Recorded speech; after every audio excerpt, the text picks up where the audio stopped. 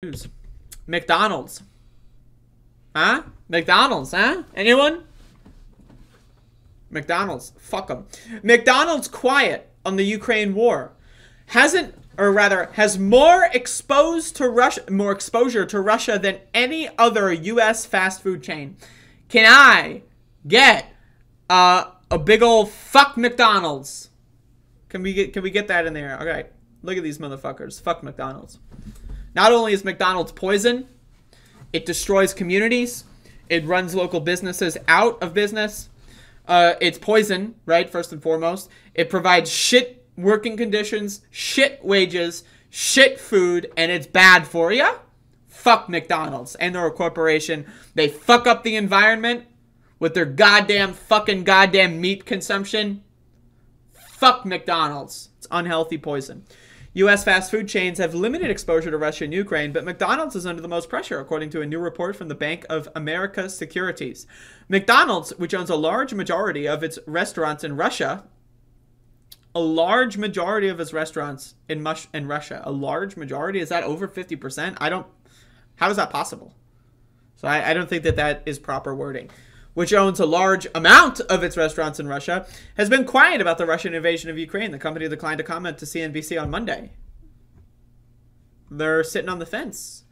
Other restaurant companies have avoided greater exposure uh, to Russia and Ukraine because most or all of their locations in the countries are operated by franchisees.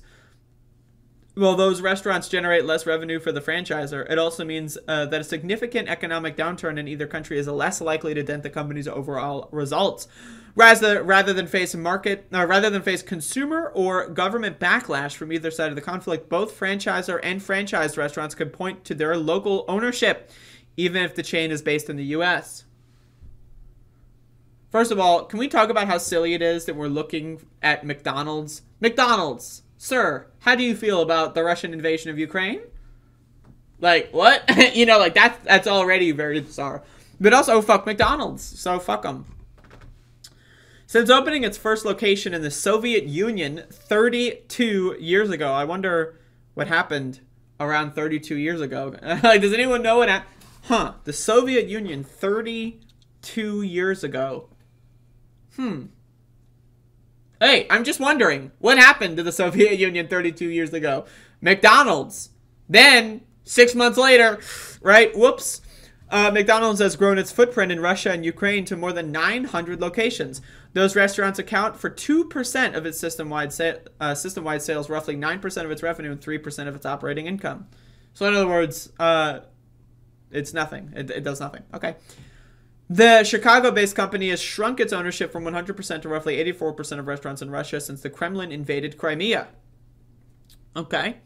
In 2014, after Russia was hit with sanctions in response to its Crimea invasion, there was a perceived negative reaction to the country level uh, at the country level against American companies, including McDonald's, whose Moscow restaurants it closed for sanitary violations. Now that I believe, that I believe. I'm just saying, I don't believe. Uh, bank, you know, I don't believe much of what the Kremlin says. That I'm, I'm going to go ahead and say that they're probably not not too far off. Bank of America securities analyst Sarah Senatore wrote in a new uh, note to clients on Monday. Franchisee operates uh, the franchisees operate the rest of McDonald's Russian footprint. So basically, he's he's this is the leave it up to the states version, but like with corporations, they're leaving it to the states. Um. So let's see what some other stores and brands are talking about. Starbucks, on the other hand, generates only about 5% of its system wide sales from Europe. According to Senatore, the coffee giant hasn't paused operations in Russia, where all of its cafes are run by franchisees. CEO Kevin Johnson condemned the Russian attack on Ukraine and vowed to donate royalties from its Russian business to the humanitarian uh, causes in Ukraine. Okay, so that's good. Yum Brands, which owns Taco Bell, KFC, and Pizza Hut. Taco Bell is the only fast food I eat, though I haven't had it in, in a while. Has more than 1,000 restaurants in Russia that account for roughly uh, roughly 2% of its system-wide sales. However, the vast majority of those locations are franchised, so the revenue that Yum receives through licensing fees is much smaller. And uh, okay, and they said, like so many across the world, we are shocked and saddened by the tragic events unfolding in Ukraine, and we're focused on the safety of our employees, franchisees, and partners in the region. Yum said, that's not that good of a statement.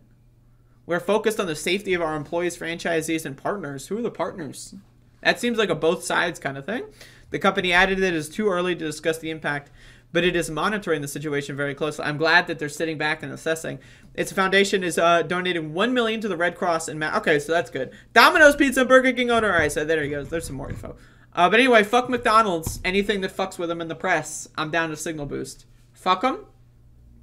Also, what happened in the Soviet Union 32 years ago? I'm just I'm just very can someone like look up like Soviet Union 1990s cuz to me last time I heard last time I checked McDonald's going to the Soviet Union very ill timed. I mean or or good timed, well timed depending on on your perspective. Um but there you go.